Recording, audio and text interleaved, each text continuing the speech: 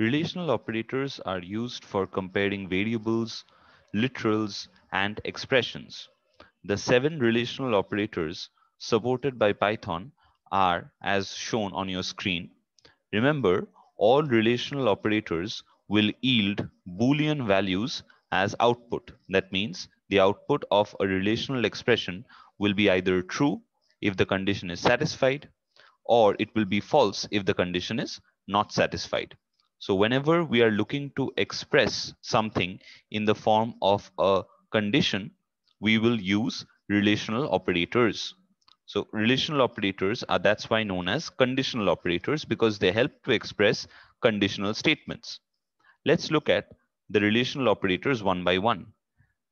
In the cell that I've currently highlighted, we can see that myvar1 has been initialized to 15 and myvar2 has been initialized to 27. So if I want to check whether myvar1 is greater than myvar2. So if I perform a greater than checking, I find that myvar1 has a value of 15, myvar2 has a value of 27. Now 15, myvar1, I'm comparing myvar1 with myvar2. And I'm carrying out the comparison using the relational operator greater than. Is myvar1 greater than myvar2? Obviously not, because myvar1 is 15 and myvar2 is 27. 15 is not greater than 27. So if I execute this cell, I will get the Boolean value false, like we can see on the screen. The result is false. Now remember, the greater than relational operator has an opposite operator called the lesser than or equal to. So greater than and lesser than or equal to are opposite of each other. Think about it logically. If my var1 is 15 and my var2 is 27, and if I'm checking whether 15 is lesser than or equal to 27, what will I get? I will get true because yes, 15 is less than 27. So in this case, if I execute the cell, I'll get the value as true. So this proves that greater than and lesser than or equal to are opposite of each other. Now, if we look at the next cell, we find that we get the value as true because this time we are checking whether my var2 is greater than my var1, which is the case here because 27 is greater than 15. Now again, if we take the opposite of greater than, which is lesser than or equal to, we will get false because my var2 is not less than my var1 because my var2 is 27, my var1 is 15, 27 is not less than 15, neither is it equal to 15. So that's why we get a value of false. Now, if you look at the next cell, now we are comparing myvar1 and myvar2 using the lesser than operator. In this case, we find that myvar1 has a value of 15, which is lesser than the value of myvar2, which is 27. As a result, the output comes out to be true. The opposite of the lesser than relational operator is the greater than or equal to relational operator.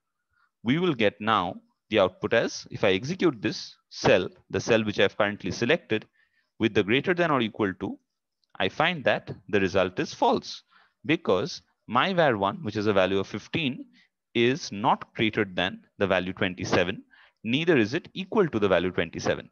As a result, this comes out to be false. Now, if we look at the next cell again, now we are comparing my var2 with my var1 using the lesser than operator once again. So my var2 is 27, my var1 is 15, 27 is not less than 15. As a result, we end up getting false on executing the cell. Again, the opposite of lesser than is greater than or equal to. So if I try this with the greater than or equal to, I'll get true because my var2, which is 27, is indeed greater than 15. As a result, it comes out to be true. Even if I change my var1 to 27, I'll get the output as true. Why? Because my var2 is now no longer greater than my var1, but remember it is equal to my var1. So this operator greater than or equal to checks whether the expression on the left hand side of it, which in this case is my var2, is either greater than or equal to the expression on the right hand side of the relational operator. So in this case, it is greater than. In fact, in this case, it's not greater than because 27 is in is stored in both the variables. 27, the same value 27 is stored in both the variables. So in this case, one variable is not greater than the other. They're equal. As a result, we still get the output as true. And the next relational operator is the equal to operator. Now, if two variables are containing the same value, we will get the output as true, as we can see here, because my var1 and my var2 both contain the value 10. Now, the opposite of equal to, as you have guessed, is not equal to.